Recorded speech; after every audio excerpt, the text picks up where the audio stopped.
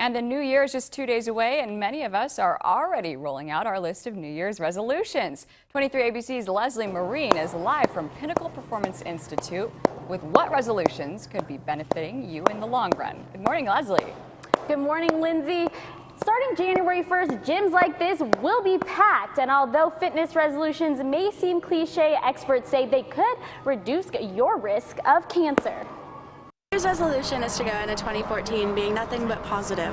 My New Year's resolution is that um, I would become a lot better in soccer. New Year's is always a time for many people to start fresh. You know, I think it's the time of year when we really assess, you know, where we want to go in this next year. It's a fresh start for all of us. While we decide what goals is set for the next year, the American Cancer Society says some of the most popular resolutions can actually reduce your risk of cancer. Drinking less alcohol, eating healthy food, getting fit, losing weight, quitting smoking, and volunteering to help others are all goals that can provide you a healthier lifestyle. But while making a resolution can be easy, fitness experts say it's sticking to it that's the hard part. What my biggest advice would be is to find a goal that you can actually attain.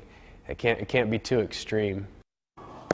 Pinnacle Performance is just one of many gyms that will be having some deals all throughout the month. They're actually having a deal for $49.99 for the first month. And Lindsay, coming up, will tell you what other types of exercises you can do to actually stick to your New Year's resolution. All right, Leslie, looks like you're having fun boxing out there.